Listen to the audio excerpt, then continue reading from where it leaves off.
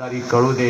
हातामधल्या mobile मध्ये तू काय बघतेस हेही तुला कळू दे. मोबाईलचा वापर तू कसा करतेस हेही तुला कळू दे.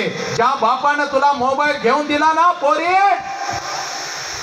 ए ज्या बापानं तुला मोबाईल घेऊन दिला ना तुझ्या हातामध्ये मोबाईल आहे ना तू बघ जरा बघ. तुझ्या मोबाईलसाठी तुझा बाप किती झुकलेला असतो. अशा उन्हामध्ये शेतामध्ये काम करत असतो. अशा उन्हामध्ये हे शहरामध्ये काम करत असतो. घरी हसत हसत येतो. माझी लेख शिकते माझी लेख शिकते. माझी लेख आता कॉलेजला जाते. माझ्या लेखीला काही कमी पडता कामा नये. ए पोरीनो तुमच्या हातामध्ये जो बापानं मोबाईल दिलाय ना त्या मोबाईलमध्ये व्हॉट्सअप नाही पोरीनो ऐका. की त्या मोबाईलमध्ये इंटरनेट नाही जरा डोळं उघडून बघ. त्या मोबाईलमध्ये तुझ्या बापाचा तुझ्या बापाचा घाम आहे. त्या मोबाईलमध्ये तुझ्या बापाचे अश्रू आहेत. तेही तुला कळायला हवं. तेही तुला कळायला हवं. लक्षात घे. अगदी अगदी पळत पळत आज घरी जा. बापाला किती वर्ष झाली मिठी मारली नाही लहान होतीस ना? जोपर्यंत बाप घरी येत नव्हता तोपर्यंत अन्नाचा घास तोंडात घालत नव्हतीस. बापाला बघितल्यानंतर पप्पा पप्पा म्हणून पळत जात होतीस. बापाला मिठी मारत होतीस. ए पापा पापा पापा करून त्याच्या माग धावत होतीस. आता मोठी झालीस. आता मोठी झालीस. बाप फक्त पैशासाठी तुला दिसतो का? बाप फक्त कपड्यासाठी तुला दिसतो का?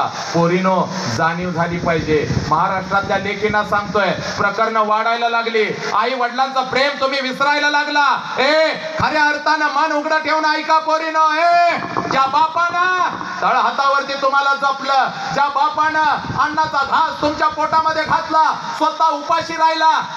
अठरा वीस वर्षाचा झाल्यानंतर त्याचं प्रेम तुम्हाला कळत नाही. पण एखादा कोण तर तुमच्या आयुष्यामध्ये येतो. एखाद्या वर्षासाठी येतो दुसऱ्या वर्षासाठी येतो. तुमच्या आतलं प्रेम जाग होतं आणि ज्या बापानं ज्या आईनं तुम्हाला जपलं त्या आई बापाला असं सोडून तुम्ही निघून जाता प्रेमासाठी. पिढ्यान पिढ्या ज्या गावामध्ये बाप उंच मान करून फिरत असतो ना लेकिनो हे पोरीनो पिढ्यान पिढ्या ज्या गावामध्ये बाप उंच मान करून फिरत असतो तोच बाप एका दिवसामध्ये कुत्र्यासारखी मान खाली घालून रस्त्यानं चाललेला असतो. हे ऐका की वेदना आहे वेदना. जाणून घ्या. जाणून घ्या. पेटून उठा लेकिनो. त्यासाठी मी इथं आलोय? फक्त हसवायला आलो नाही. तुम्ही मला माझ्या मुलीसारखे आहात. म्हणून सांगतोय मेल्यानंतर बापाचं शरीर चालतात पण तुमच्या चुकीमुळे